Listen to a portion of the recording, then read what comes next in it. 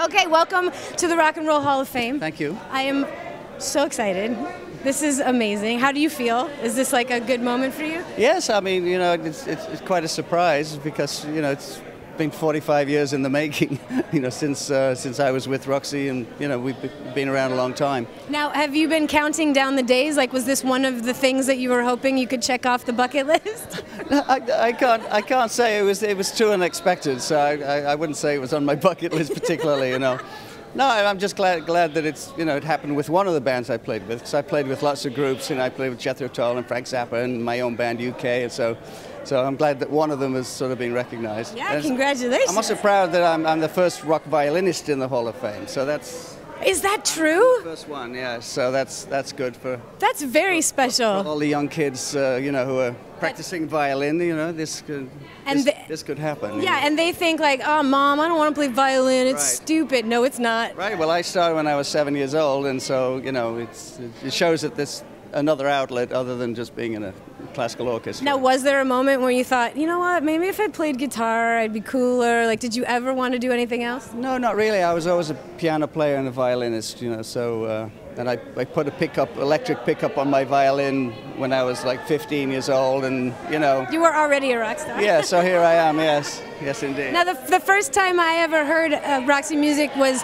when John Taylor from Duran Duran started talking about you guys, yeah. and I thought, oh, who's that? And I, and then I understood. Yeah. I understood the whole history after yeah. that. Yeah, John, John, John's been a fan since he was. If, when I first met John, he told me he got my autograph when he was 12. So, so, yeah, they, they, followed Roxy for a long time, especially in Birmingham where they lived. You know, they used to come to all the concerts.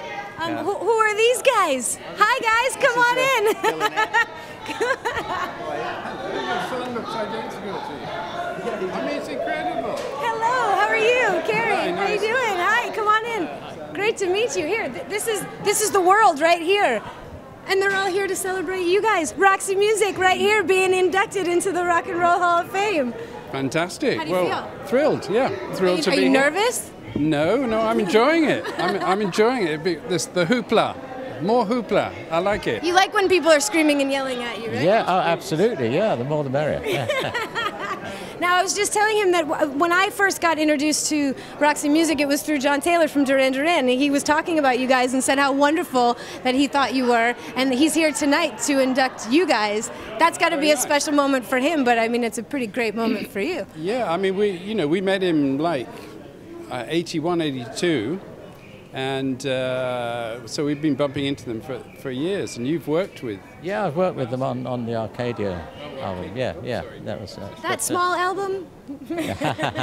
so uh, yeah, no, great. No, they're great guys. Yes, and they're going to be here and they're going to be introducing you guys, and I'm, I'm pretty excited about that.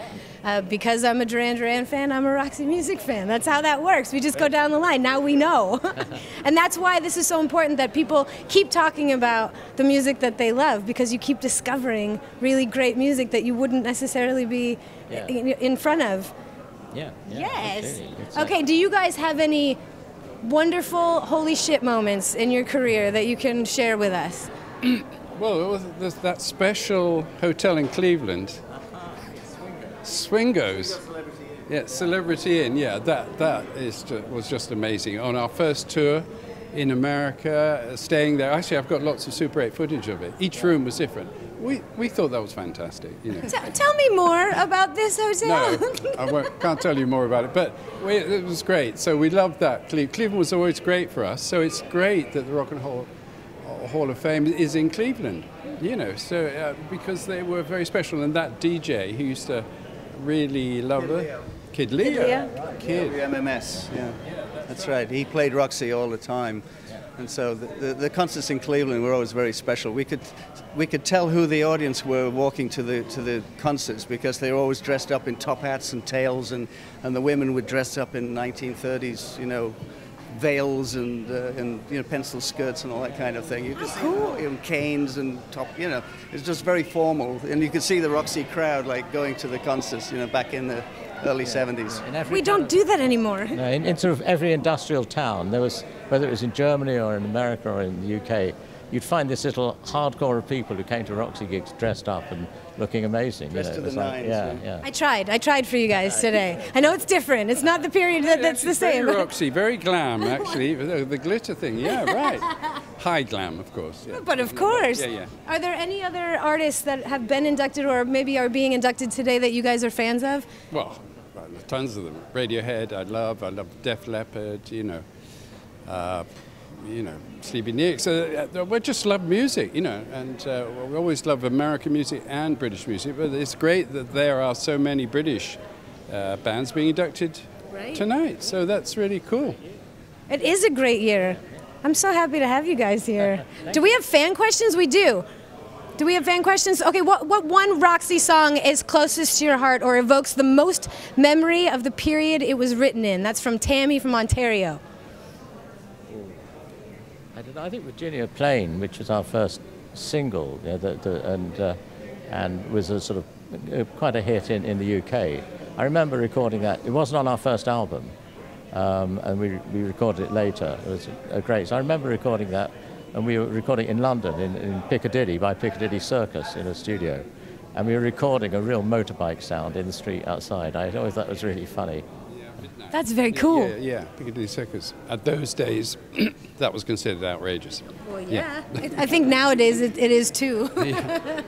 Yeah, the police never caught him, but uh, the roadie, yeah, John Ragg. Anyway, yeah. Thank you guys good. Thanks so very very much. much. Congratulations. Well deserved. I can't wait to see you inside. Thank you. Thank you very much. Cheers. Thank you.